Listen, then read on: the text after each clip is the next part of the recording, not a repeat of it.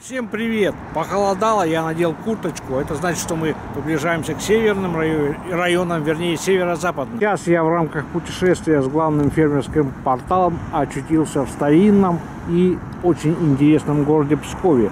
Сейчас я на окраине и буду потихоньку продвигаться к центру, к главным историческим достопримечательностям этого города и потихонечку снимать улицы, рядовые улицы города. Это тоже интересно.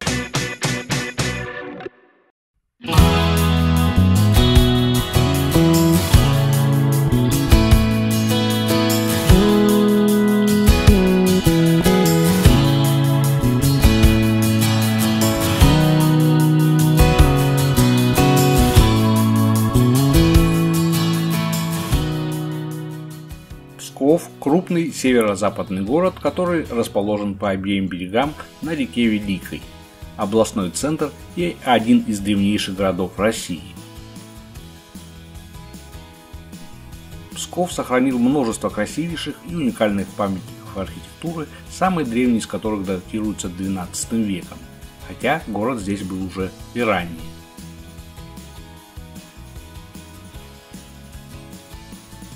По провинциальному уютный Псков, не перегруженный промышленными объектами, придется по вкусу путешественнику, уставшему от огромных мегаполисов.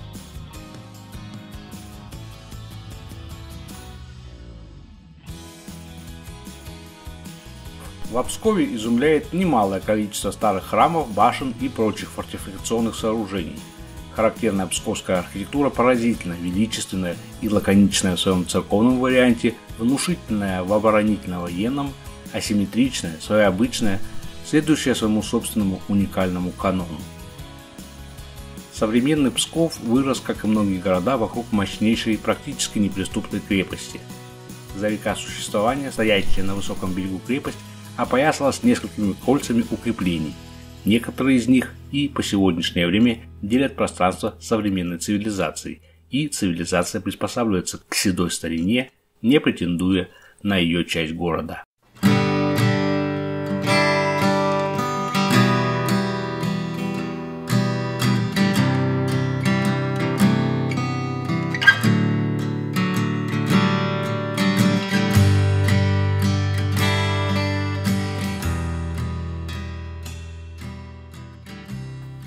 Старинные постройки находятся под охраной государства, и ни один древний кирпич нельзя просто так сдвинуть с места, даже если это совсем руина.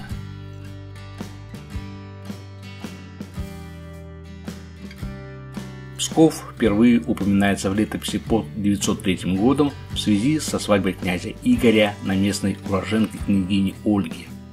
В дальнейшем он находится в зависимости от Киева с 12 века от Новгорода –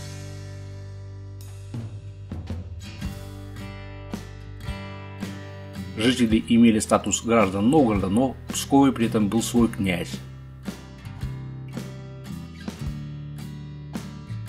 К концу 13 века Псков фактически стал независимым от Новгорода, а в 1348 году получил независимость и де юре. С 1399 года Псков под властью Москвы, хотя по тем временам город мог еще позволить себе проводить собственную политику, не очень-то оглядываясь на московское княжеское начальство. И именно 14-15 века являются рассветом псковского искусства, экономики. К сожалению, рассвет закончился в 1510 году, когда московский князь Василий III ввел в город воинский контингент, и Псков стал частью Москвы без намека на автономию. Почти ежегодно Псков, как пограничный город, подвергался агрессии, но никому не сдался, даже талантливому Баторию не удалось взять его. Только Великую Отечественную войну Псков захватили немцы, и он три года был оккупирован. Кстати, с тех пор некоторые здания так и не восстановлены.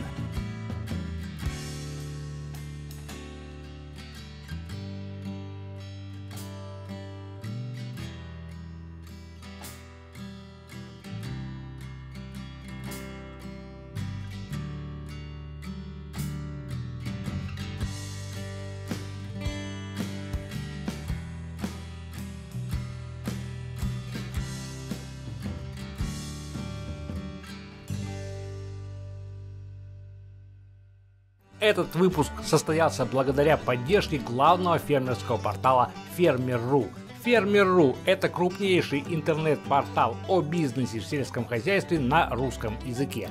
Ответы на тысячи вопросов фермеров, уникальные обучающие материалы, прямые эфиры из агроэкспедиций, беседы с мастерами своего дела, успешными фермерами, технологами, учеными и их бесценный опыт.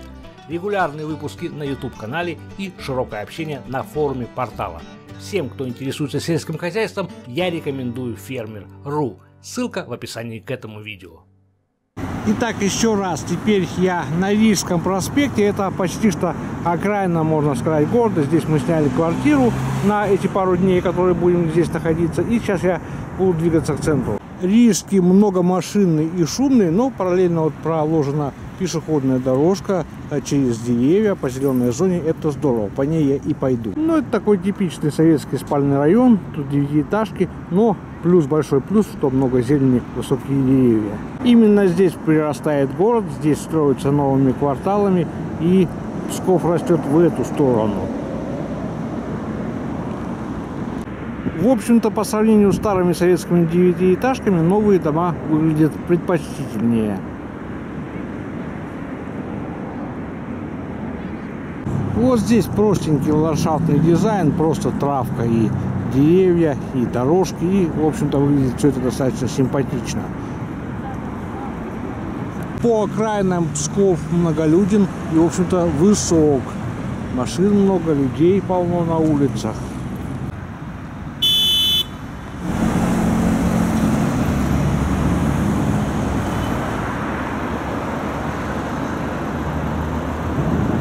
Я всегда считаю, когда на моем пути появляется кошка, это хороший знак.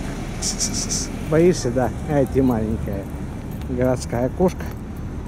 А, я продолжаю движение по проспекту Рижскому. Ну, а здесь больше такие советские пятиэтажки. Жизнь оживленная, но народу много, прям удивительно. А, не такой уж большой город Псков, но здесь по проспекту движется очень много машин и очень много народу.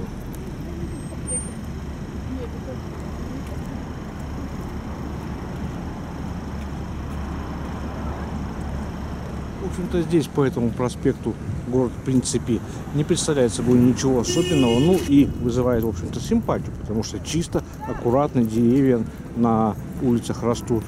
И, в общем-то, дома, в принципе, в порядке здесь.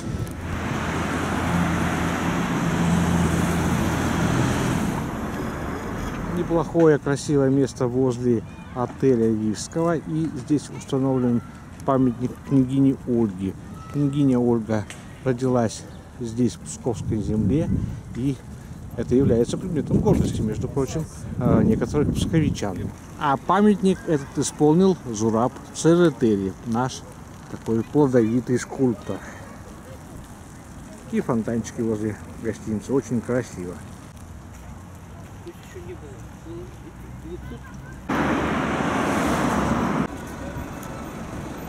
Отсутствие штукатурки на старинных домах – это такой признак а, художественного оформления этого дома. Ее специально не стали ложить до конца, мне кажется.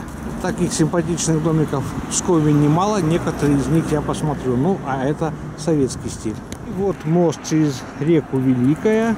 А, через него обязательно пройти нужно, чтобы попасть в центр. Но прямо перед ним первая серьезная достопримечательность – Успенская церковь, если я правильно ее охарактеризовал, правильно понял, что это именно она. Церковь здесь была возведена еще в 12 веке, но деревянная, а вот в веке 17 построена белокаменная, которую мы сейчас можем лицезреть, правда, несколько, конечно, измененной с тех пор виде.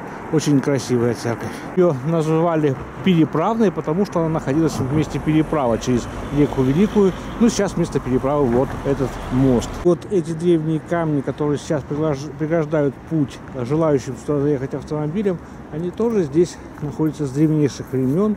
Ну, может быть, не на этом самом месте, но поблизости где-то они лежали. И вот еще характерная звонница звонница с, пяти, с пятью, не знаю, как правильно это назвать, местами для колоколов, отвечает канонам таким Псковского храма строительства, но была построена попозже, чем сам храм.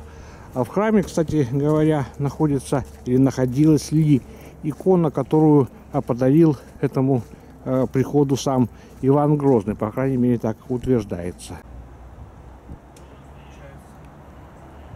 Церковь действующая, в ней проходят службы.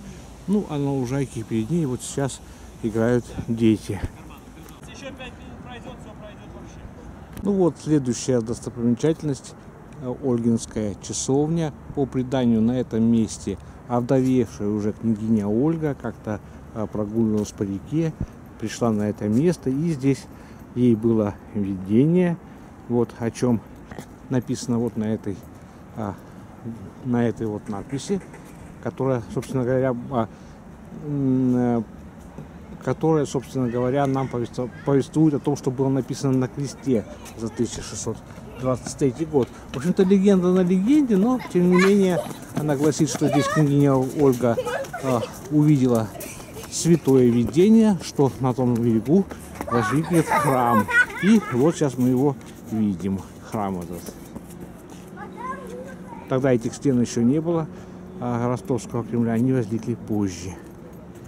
И отсюда открывается чудесный вид на реку. Здесь очень красиво. Видно большая, большая часть а, Кремля Псковского, протяженная его стена и лозунг, в общем-то, который достаточно уже известен, Россия начинается здесь. Ну вот так псковичи считают, что она начинается здесь. На самом деле Псков был очень часто приграничным городом и сейчас находится недалеко от границы. А вблизи берега отдыхают многочисленные утки, много их здесь. А вверху играют дети. Ну и вот изображена сама Ольга. Сама часовня новодельная, в 2000 году она была построена. Ну, тем не менее, место это достопримечательное. И напротив вот есть гостиница Ольгинская. И чуть подальше Ольгин крест, место, где а, Ольга привлекла возникновение вот в этих местах славного града, который потом назвали Псков.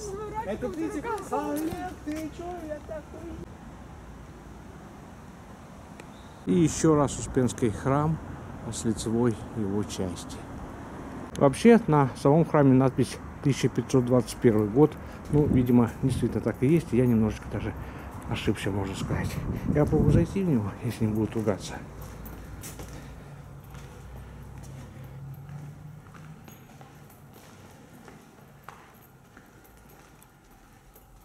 Сейчас тихо и никого нет.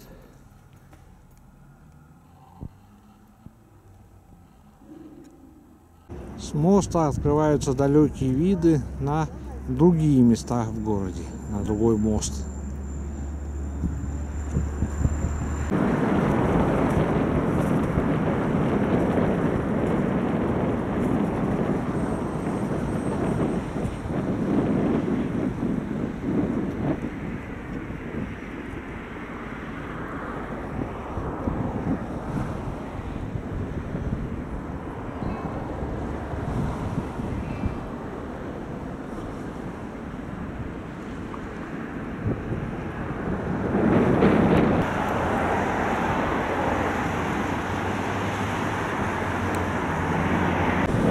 всей видимости, прогулочный теплоход.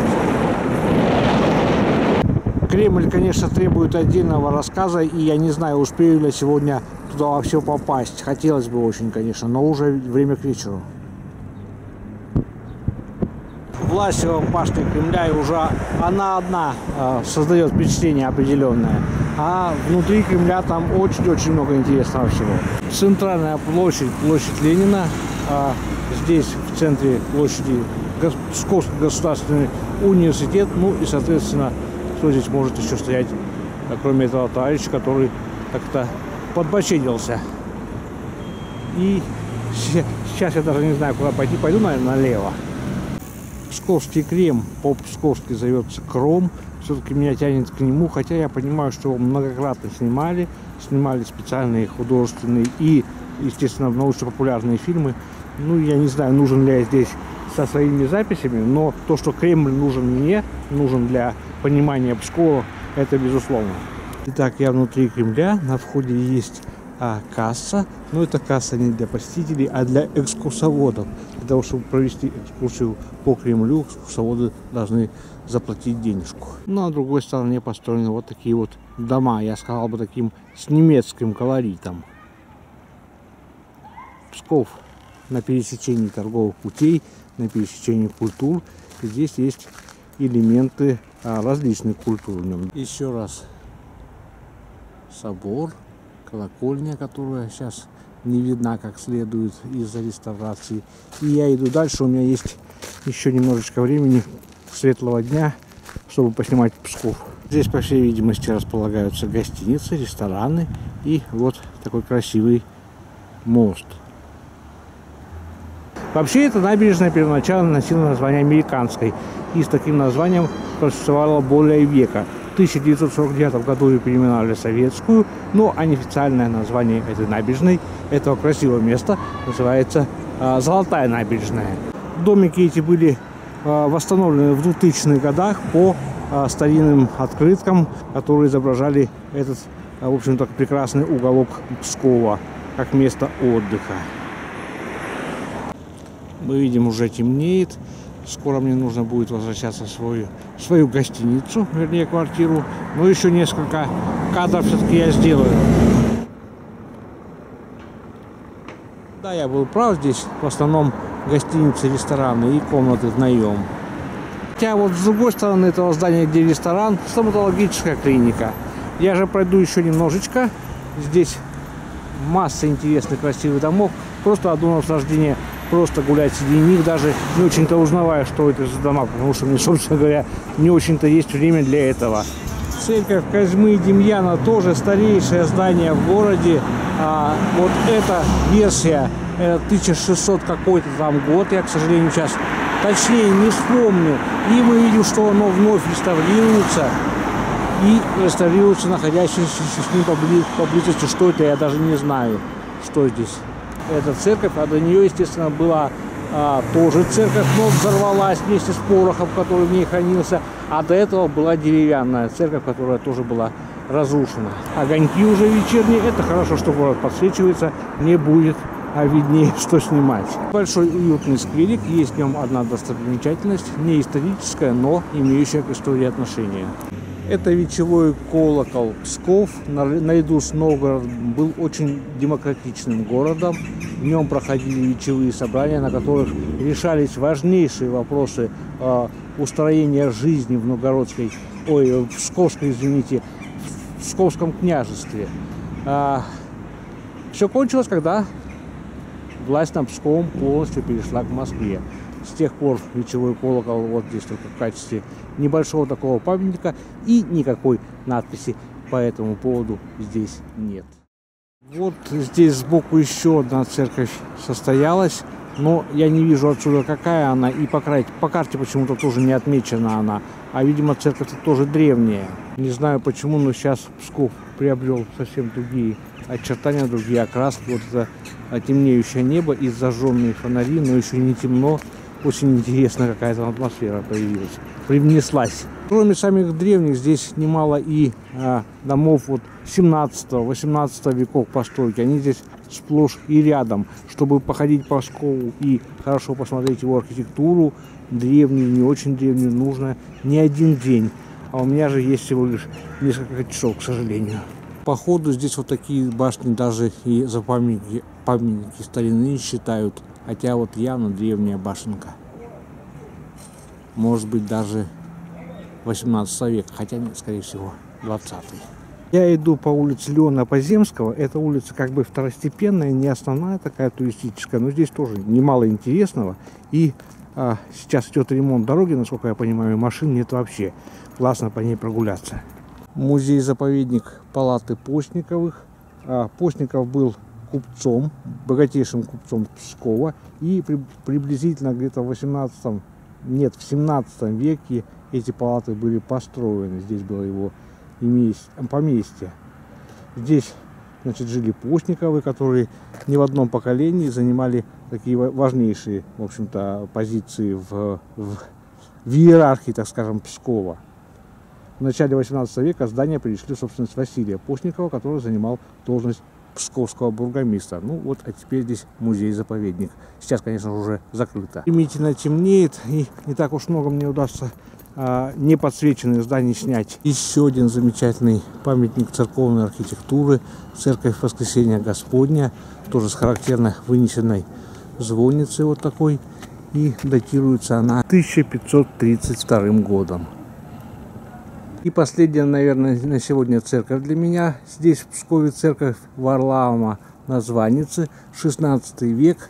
Поскольку она белокаменная, его сейчас неплохо видно а, при последних лучах света этого дня. Церковь тоже красивая, но не очень-то ее можно посмотреть сблизи. Сейчас я попробую отойти а, немножко подальше. Здесь ремонт происходит и затруднен, затруднен осмотр. Вот такая приземистая церковь основательная, тоже со звонницей, очень красивая. Подаль фундамента тоже чего-то древнего разрушенного, а может быть часть подпорной стенки, не знаю. Я пойду сейчас вот туда к башне. Похоже даже на какой-то крепостной бастион, не знаю так ли это. Ну а вот а, церковь во всей своей красе. И рядом тоже очень красивое здание, наверное, тоже принадлежит церкви. А точно это была одна линия укреплений. Вот ее продолжение уже отреставрированное. И здесь Варламовская башня располагается. Вот так ее красиво восстановили. Вот уже и камера отказывается фокусироваться. Наверное, на сегодня я буду заканчивать съемки. Завтра у меня будет еще немножечко времени, и я буду вновь снимать Кремль. А сейчас, наверное, спокойной ночи. Хотя пару кадров еще сделаю. И возвращаюсь я назад, той самой золотой набережной, о которой вел, вел разговор немного ранее. Вот она сначала американская, потом советская, а вообще золотая набережная.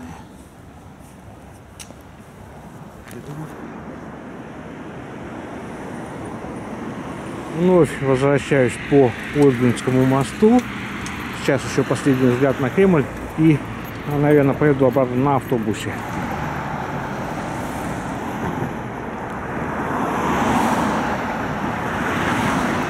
Да, ну вот в темноте видно только церковь, главный, главный собор и надпись «Россия начинается здесь».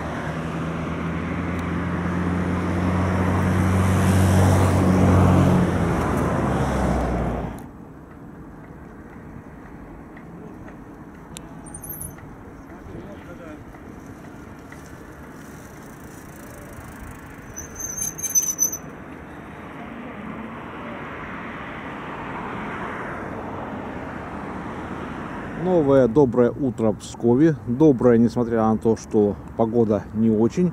У меня есть где-то час примерно, чтобы погулять еще по городу до моего отъезда.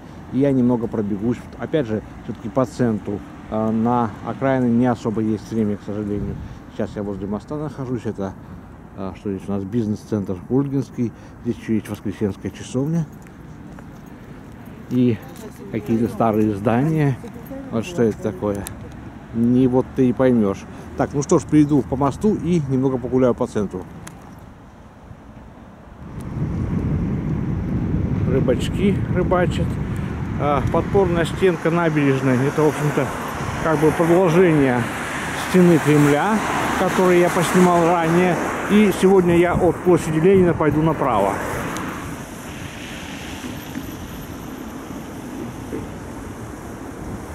Вот так вот здесь оформлена елка и гномики живут под ней.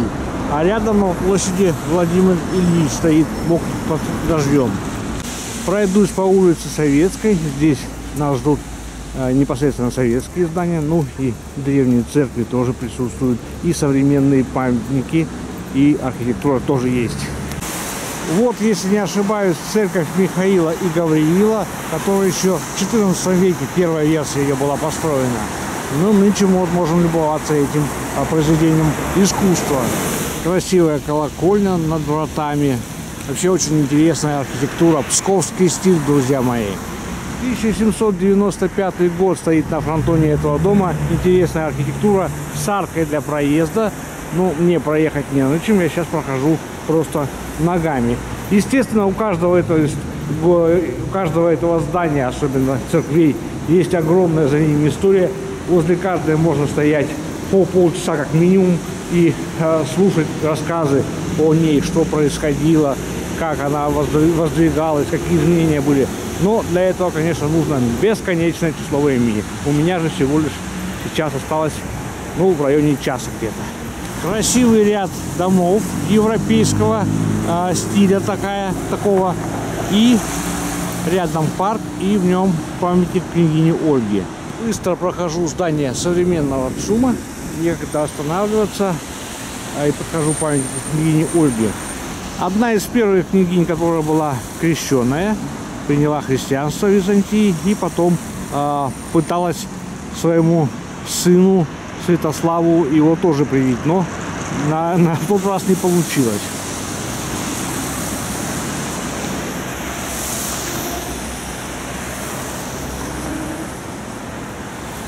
Красивое советское здание Дома Союзов. Они, вот эти Дома Союзов, а, разной степени похожи в разных городах. И еще одна красивейшая старинная церковь.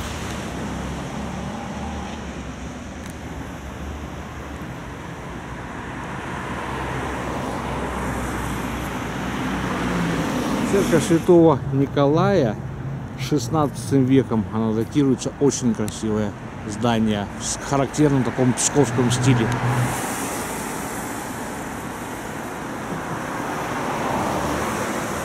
Разумеется, я не обойду все достопримечательности Пскова, у меня очень мало времени на это. Требуется, наверное, неделя, чтобы более-менее проникнуться Псковом. У меня же всего несколько часов, но этого достаточно для знакомства и для понимания того, насколько Псков интересен, величествен и значим для истории.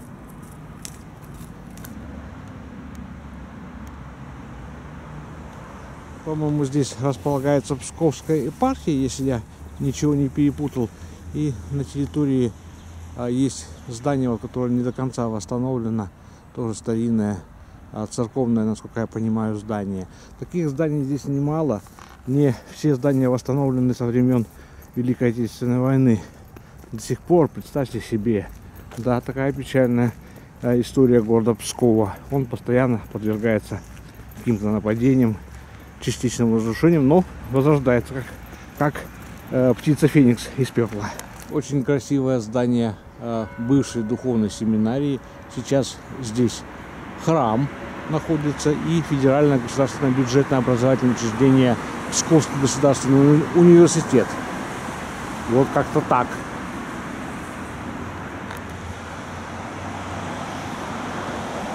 Логично, тут же воскресная школа в одноэтажном домике. Мне такие одноэтажные домики очень нравятся, когда они в городах есть. Если мы посмотрим налево, то тут современное здание банка ВТБ и э, осталось э, здание деревянной конструкции с э, каменным полуподвалом. Интересное э, здание большое.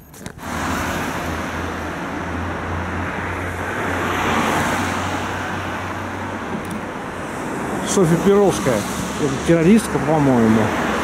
Но думаю, что она не одна жила в этом доме. Здания не очень старые, но с большой историей. Вот здесь, в этом здании, неказистом, была открыта первая телефонная станция в городе Пскове. Это важно. Для кого-то это тоже история. Советская баня номер один. Лично реставрированное здание отделения Государственного банка. Красиво. Реставрируется реставрации, по-моему, здесь никогда не заканчиваются. Со времен окончания войны идут и идут. Дом Тропина 1889 года здесь реставрируется. А напротив вот а, осталась только половина первого этажа какого-то исторического здания. В городе очень много военных.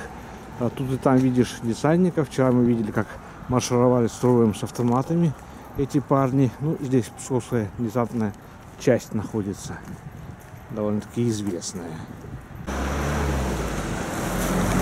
Вот уже отреставрированный дом, наверное, советской эпохи или построенный с нуля. Здесь не очень-то понятно. Банки тоже очень любят располагаться в старинных э, зданиях с толстенными стенами.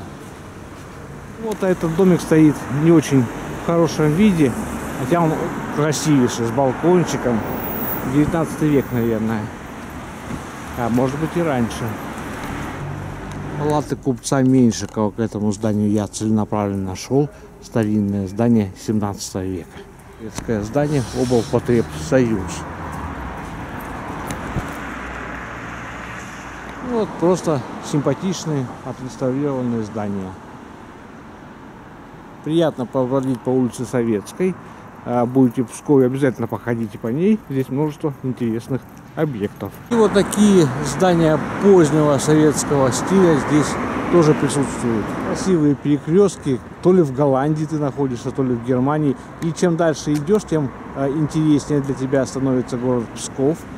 Жаль, вот говорю, что я не на недельку здесь задержался, а чуть всего лишь на пару часов. Боковые улочки тоже весьма интересны, на них встречаются великолепные красивые здания. И каждому, блин, ну, хочется подойти каждому, но некогда, к сожалению. Вот еще одна красивая церковь. Это церковь Успения Пресвятой Богородицы и выполнена с элементами классицизма она. Вдоль берега еще одна историческая улица. Хотелось бы вот вообще на каждой из них походить. Это улица Калинина, тоже весьма интересно. Вот, наверное, по ней я возвращусь. Повторюсь, про каждое из этих зданий можно, можно долго рассказывать, но времени на это нет. А за каждым из них огромная история. То растение, которое у нас называется куильский чай, лапчатка, здесь тоже в качестве декоративного высаживают. А между прочим, можно заварить неплохой напиток из него, кто не знал. Это так, отступление. Мы видим здесь вот а, дорожки велосипедные тоже отдельно есть. Во многих местах Пскова я их замечал, но э, особо не снимал. Вот, пожалуйста, есть. А для пешеходов другая. Сад этого здания я снимал, а вот задний вид его ну, тоже весьма хороший, потому что он выходит, в общем-то, на другую улицу. Э, красная тоже линия, так называемая.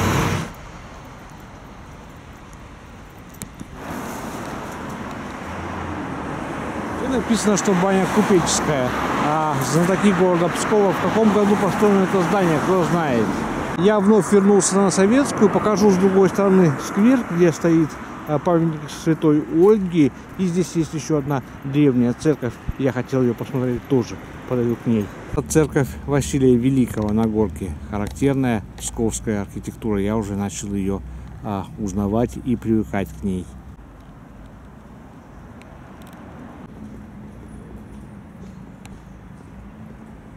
Храм 15 века. И хочу отметить, что в почти, ну, по крайней мере, возле значительных достопримечательностей есть вот такие вот информационные доски с пиар-кодами. Можно навести и посмотреть подробности об том или ином здании. Ольга смотрит на город, возникновение которого она предрекла. Святой равноапостольной великой княгини Ольги. Интересно, кто это мальчик рядом с нею.